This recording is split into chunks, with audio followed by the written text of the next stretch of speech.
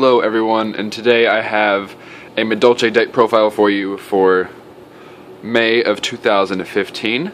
I have edited this build a lot over the years, uh, not over the years, over the months I meant to say, sorry about that. I've only been playing the game for a few months. Uh, my friend got me back into it when I went over to the card shop.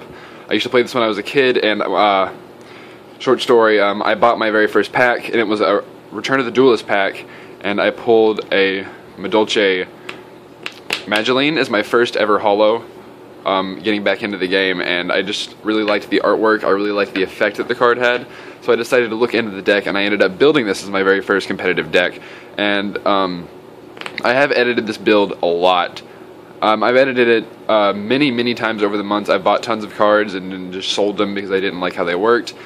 And I do have another build coming that I will show off whenever I get all the cards for it, but for now this is the build that I use on my locals. I do pretty decently there. Um, I got second place one time, and um, I place pr pretty well usually. Um, we have Nekroz, Satellar Knights, Heroes, which is a really bad matchup for Madolches, I feel. Um, Black Wings, we have a lot of um, really good decks and a lot of like road decks and in-between decks, Melodious, etc. But the Nekroz and uh, Satellar Knight players are the ones that give me the most trouble. Um, Satellar Knight specifically. I find that Nekroz is a little bit easier on Madolche than Satellar Knights because Satellar Knights just stop everything that you do and it's really, really irritating. But yeah, enough with the talk. Uh, let's, let's get into this deck profile. I will be going over my main, extra, and my little side deck. My side deck is still growing. I didn't really develop that when I was building my main deck for the first time, so I'm just now getting around to that. But for the monsters, we have the staples, 3 Anjelly. This is your main combo piece. Um, if you have uh, all three of them banished, you basically can't play. she is absolutely the best card in the deck, and if you don't have her, um, good luck, uh, because it's going to be a struggle. Three Magileine, because she searches out your Anjellys or your Muse if you already have one or what other whatever other card you may need. And sometimes I'll even a special into her with Tiaramisu's effect for a 1900 beater, which is really nice.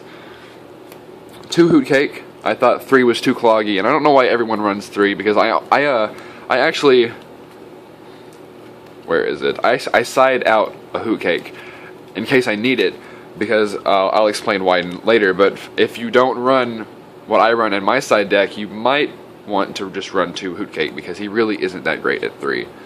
Two Mew because while this is a great, great combo starter and just a great card in general, you can search it out really easily so you don't really need three. Two Messengelato because you don't want three because you never want to draw into it, but you don't know, but you don't want one because you can't really do as many um, combos with just one. I find, and I feel a lot more comfortable with two. Two Effect Veilers for a hand trap uh, pretty. Uh, it doesn't really need any explanation. I find that card is just great at stopping plays. Two Maxx C for draw power. Also a hand trap, another hand trap, Swift Scarecrow. Spell Striker to extend plays. I just run the one because I don't really find uh, two necessary because I, I also want to run other cards.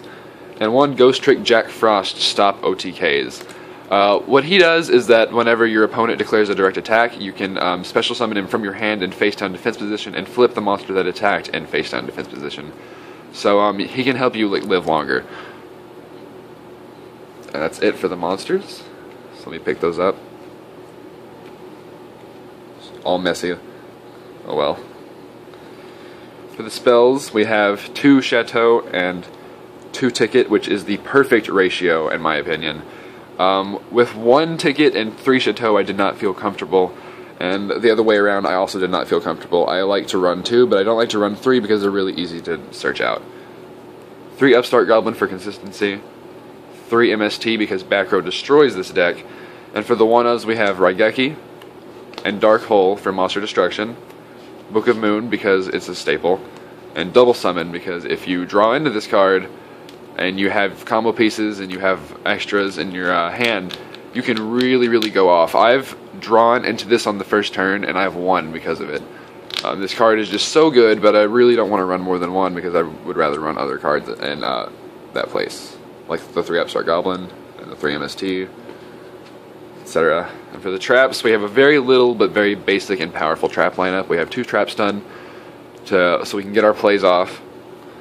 One bottomless, vanities, mirror force, torrential, and breakthrough. These are all staples. These are all really powerful traps. They're never a dead draw, and they always help me out.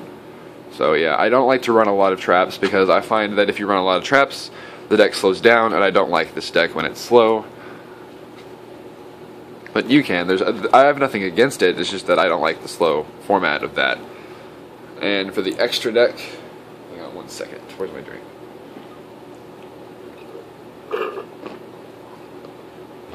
Sorry about that. The extra deck, rank fours, we have two Tiaramisu. Absolutely the best card in this entire deck.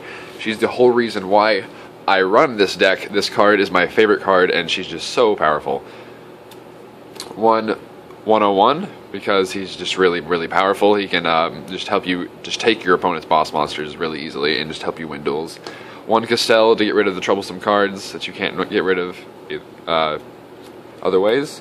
Cowboy, Blade Armor Ninja for uh, game finishers and OTKs. Excalibur, staple. You can get them out really rarely, but when you do get them out, it's great. Downerd Magician to make your uh, rank 3s useful after you've used their effect, like um, Leviair and MX Saber Invoker. Abyss Dweller for the last rank 4, just because this card is an instant win against certain decks I've found. I found. And I want to put this back in the correct order. Rank 3s, we got two Leviair. You need two Leviair so you can do your um, biggest combo twice in one game. One Ghostrick Alucard, he's basically an MST that does 1800 damage. Um, you can also use him to get rid of set monsters, so he's pretty awesome. Wind up Zenmaines, he helps you stay in there. Number 49 Fortune Tune does the same thing. And one Naturia Beast, this is uh, an interesting uh, thing to put in here because a lot of you will say, well, you can't even run this card. Yeah, I can't yet. Um, I needed a placeholder because I don't have my MX Saber Invoker yet and, or my instant fusion targets, which I will get to later. And um, I will plan. I'm plan on using um, TG Striker and TG Werewolf later, which will help me go into this guy. And he's just an awesome, awesome, awesome card, and I'm really excited to run him. I just I don't have the cards. I don't have all the cards that I am eventually going to run yet, so I just put him in here as a placeholder because I don't have the four cards I actually need. If that makes any sense. And for the side deck, it's small, but it's growing. We got all these tokens out of here. Three Ghostrick Jiangshi and three Ghostrick Mary. Um, the Ghostrick engine is really fun, uh, but it's really slow. What you do is you hopefully draw into uh, this guy, and then you will set him down if you have nothing else. And then when you get attacked, you flip him up, and then you search out a Mary. And then when you take damage, you discard Mary, and then you special summon another one of these. And they just help you uh, pre prevent OTKs. And um, they also are, are, actually really good for getting through your deck because um, when you use their effects, you have to discard Mary and Jiangshi goes to the grave usually because she usually dies from getting attacked after being flipped.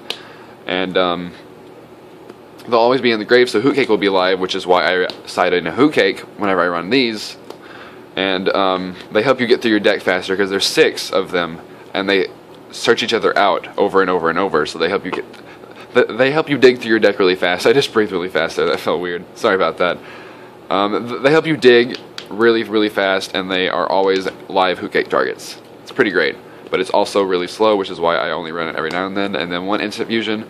I'm waiting on two more um, and I'm also waiting on my instant fusion targets, uh, which are Fusionist and Karbonala Warrior. I should have them next week, and then I will make another deck profile hopefully next month. And I'll let you guys know how that build has been working out for me. That has been my Madolche deck profile. Uh, I hope you enjoyed. I will be making another one soon.